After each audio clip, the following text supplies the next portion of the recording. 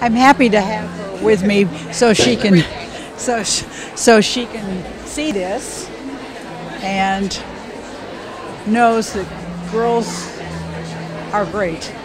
It just really inspires me to see so many powerful and amazing women around me and to have such an amazing woman in my life. And I'm here with my dad too. And I just really like the fact that women are supporting women. So that really moves me. I've been coming to TEDx for the last six years.